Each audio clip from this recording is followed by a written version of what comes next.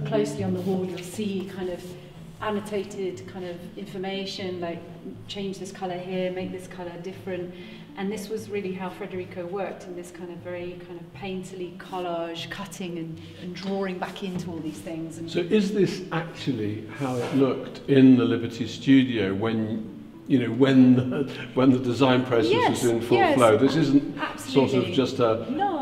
This is an actual reconstruction. A absolutely, we, we literally pulled everything from the studio, from all the drawers, all the portfolios, and just brought it here and put it on the wall. So we have a mixture of like real original artwork that would be created, like paintings, and then we've got strike-offs and samples from the factory.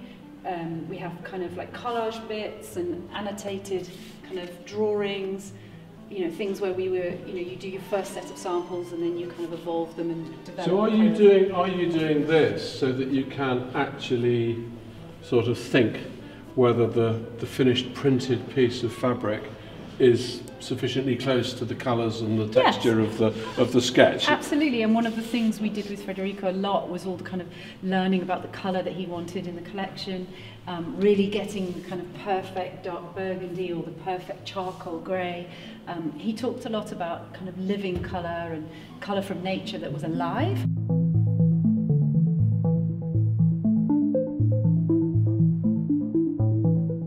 Noticed there are photographs of you, or maybe not here. Oh yes, there are some photographs of you actually looking at some of the designs with Federico in yes. his place. Yes. Which is a garden in yes. Tuscany, as yes. far as I can see. So you're actually surrounded by the colours of nature there. Absolutely. We did so much work in his house, in his garden, kind of really um, in his in his real kind of environment, really, which was super inspiring. And you know, he's got an incredible garden um, full of very beautiful plants, so that was very much part of it.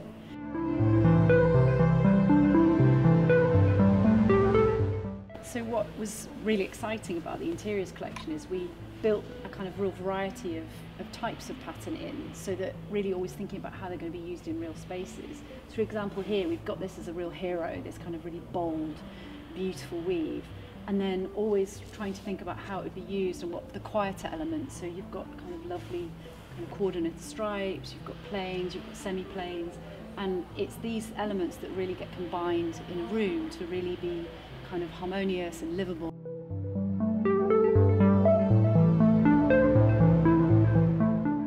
It's as if you're trying to get them to be as different, almost so different that you don't know that they're from the same collection. Yeah. But yet there's just enough there just to enough hold there. it together Absolutely. as, as a single statement or a single a single design statement. Absolutely, and it's we often do that with colour, so that our colour stories, like for example the Chitona Green story, really does that and kind of links these disparate elements together, which is often a technique we use at Liberty to bring patterns together because we are very eclectic.